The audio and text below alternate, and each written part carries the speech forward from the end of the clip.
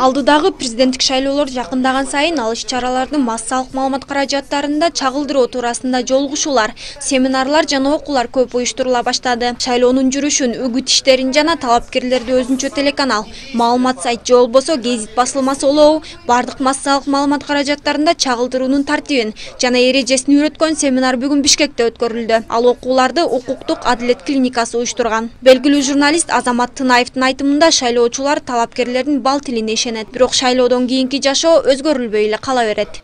Өткөн айдын бешинчи июнунда мына президент менен баягы шайлоолор боюнча мыйзамга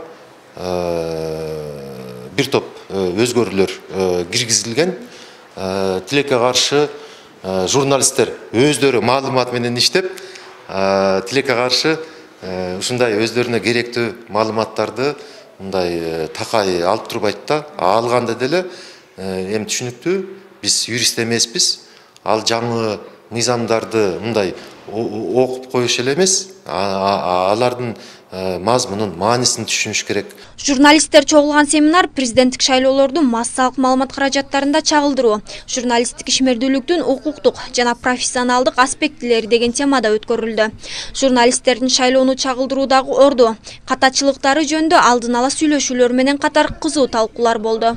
Ага отуз кырк жылдык тажрыйбасы бар кыргыз журналистикасынын аксакалдарынан баштап медиа чөйрөгө жаңыдан аралашып жаткан жаштар да чакырылган когда наш дом начинают обклеивать вот этим всем, а мы потом все это очищать должны. Шайлоо узакка созулган процесс. Талапкерлер, байкоочулар көп болуп, шайлоону чагылдырган массалык маалыматтарында саны арбын болот дейт Азамат Тынаев. Анын айтымында акты ак, караны кара деп айткан массалык маалымат каражаттары абдан аз. Учурда биздин эл журналисттердин үгүттөө иштеринен жана маалымат жеткиргенинен сырткары беренелерди чечмелеп, түшүндүрүп айтып бергендерине өтө муктаж. Маалыматты бурмалабай элге жеткизүү журналисттердин милдети деди бүгүнкү жыйындын модератору. Просто ее маскируют под информирование да и всем доказывают что нет они не массалык маалымат каражаттары коомдук пикирди жаратуучу болуп эсептелингендиктен жоопкерчиликти мойнуна алып жүрүү керек дейт журналист наргиза нанакеева. Анын айтымында президенттикке талапкерлерге бирдей мүмкүнчүлүк берилиши керек.